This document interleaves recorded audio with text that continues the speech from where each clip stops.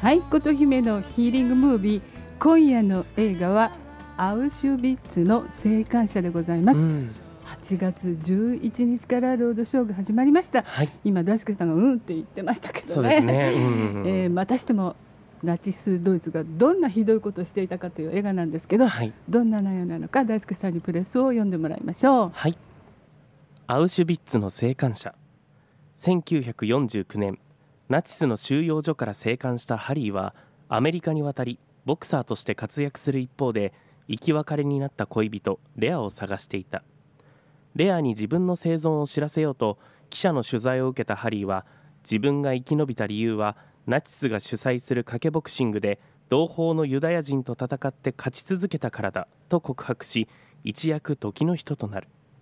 だがレアは見つからず彼女の死を確信したハリーは引退する。それから14年ハリーは別の女性と新たな人生を歩んでいたが彼女にすら打ち明けられないさらなる秘密に心をかき乱されていた。そんな中レアが生きているという知らせが届く。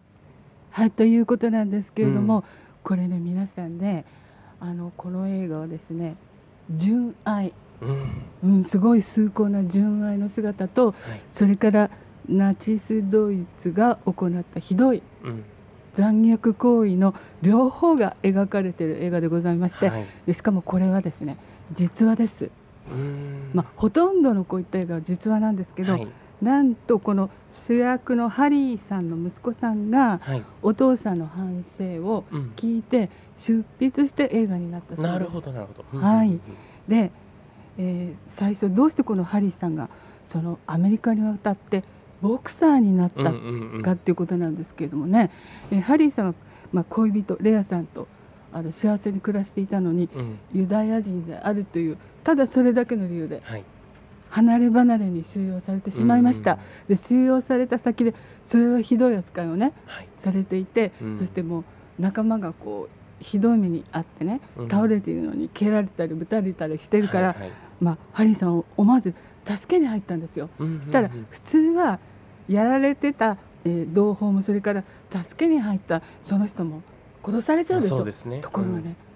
この人天性のね、うん、あの要するに腕力があったんですなるほど、それで銃を持っている兵隊を要するにこう自分の拳で倒したんですよ。強いですね。強だからもともとね強い男性だった。で普通そしたらみんなでこう殺されちゃうところをね、うん、それをね陰で見守っていたナチスのあの偉い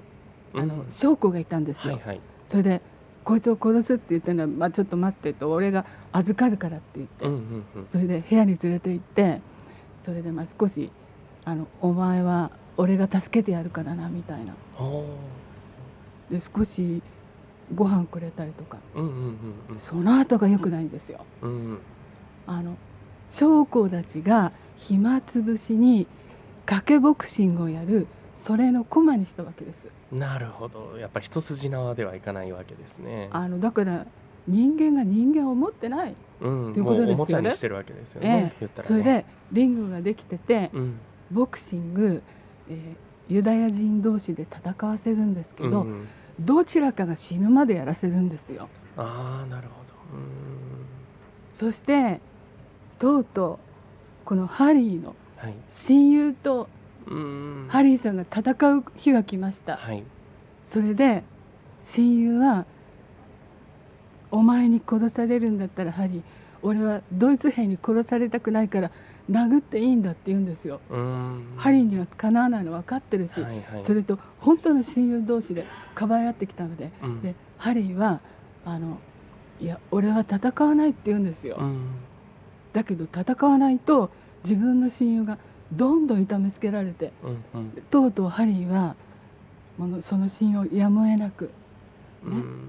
倒してしまってそしたら今度はハリーは、えー、ユダヤ人同士でみんなでいる小屋に返されるでしょ、うん、そしたら本当に孤立しちゃうハリーが悪いんじゃないのに、うんうん、でそういう日々が過ぎていっていくうちにとうとう終戦がやってきました、はい、それでハリーは出ていこうとしたらその証拠が追っかけてきて、うんうん、まだ行っちゃいけないって言うんですよ。ほうほうもうなんか胸くそ悪いっていうか腹が立つというか、でその後どうなったかをねあの映画ご覧ください。それでねあのハリーはねもう本当にあの彼女のことをね探すためにねそれからこれから生き抜いていくためにアメリカに渡ってプロボクサーとしてやっているわけですよ。である時ね絶対かなわない世界チャンピオンに挑戦するの、はいはい、なぜかって言ったらそうすると大きく新聞記事に出るじゃないですか。でその新聞記事に出ることによって自分の恋人が見てくれると思って、うんうん、もうボコボコにやられるの分かって、はい、そういうことをしたんですが、うん、やはりその彼女は見つからなかった、うん、そして彼はもう彼女のことを諦めて違う女性と結婚して子供ができてで子供息子がいるんですけど、うん、自分がひどい目に遭ったからすごく厳しく育てていて、そしてあと言えない秘密がまだハリーにはあるんです。ね、果たして何でしょう？映画をご覧ください。そしてそんな中ですねなんとベアが生きていたって。はい。それは驚きですよ。どうなるひまわりですよね、うん、アメリカに咲いたひまわりですねこの映画ね。そんなわけでね、えー、第二次世界大戦中終戦後それから1960年代と3つの時代を行き来しながら人間の崇高さと残酷さに迫るヒューマンドラマ「アウシュビッツの生還者」ぜひ劇場でご覧くださいませ、